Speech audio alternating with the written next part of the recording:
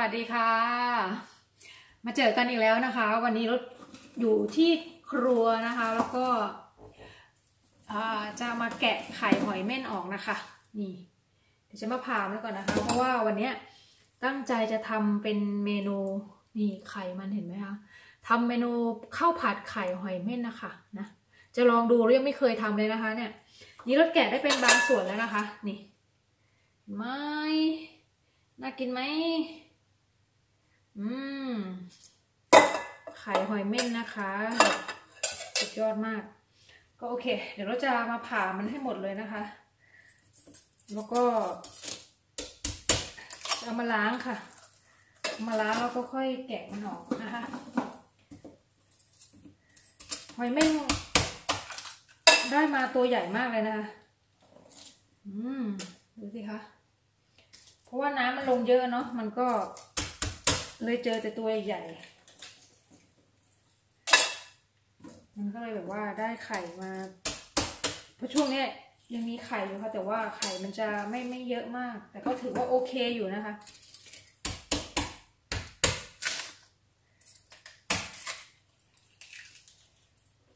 เดี๋ยวเราจะมาผ่าให้หมดเลยนะคะ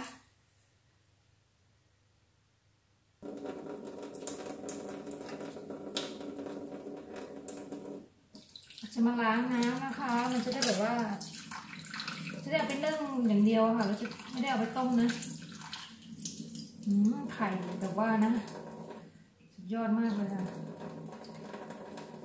เหมือนไข่ เหมือนไข่ จะบอกว่าไข่ปูก็ไม่ใช่อืมดูสิคะนี่อืมน่ากินไหมยอดเลย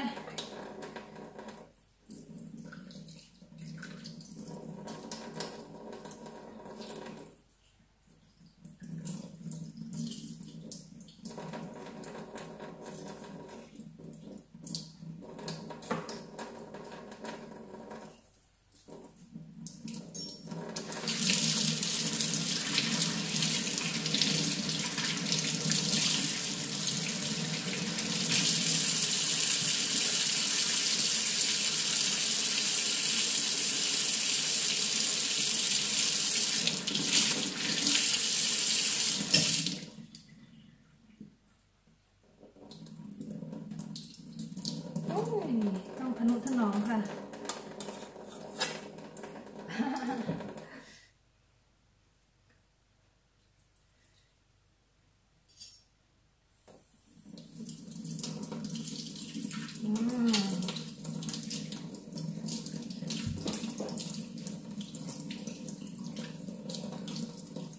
ใหญ่มาก น่ากินจริงเลย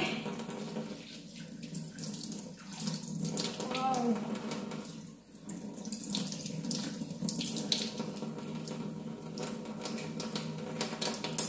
โอ้ยอันนี้ออกเป็นแบบว่า สีนี้นะคะ สีอ่อนๆ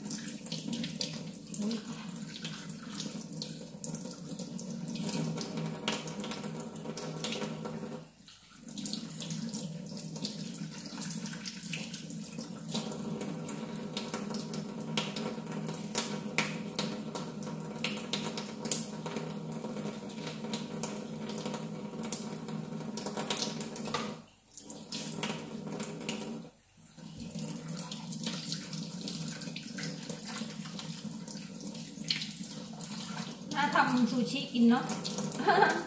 ข้าวปั้นนะคะไข่หอยเม่นวางอะไรเงี้ย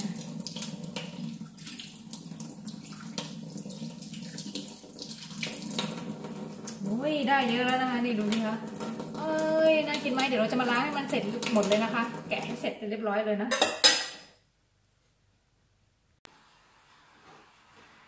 แกะเสร็จหมดเรียบร้อยแล้วนะคะ ไข่หอยเม่น นี่ น่ากินไหมคะ เที่ยวมาหนึ่งกระถางนะคะ ก็ดูสิคะหือหน้าไปวางในข้าวปั้นของญี่ปุ่นเนาะเนี่ยค่ะ ได้เยอะมากเลยนะเนี่ยเราจะเอามาทำเป็นข้าวผัดนะคะ นี่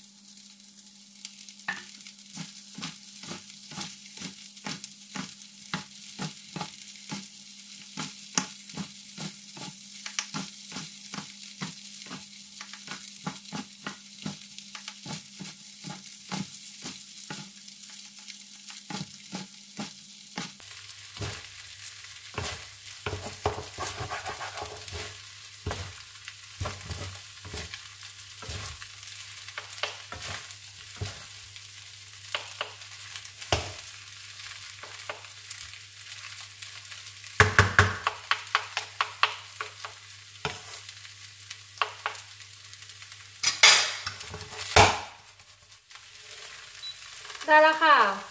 ข้าวผัดไข่หอยเม่นนะคะ นี่ไหม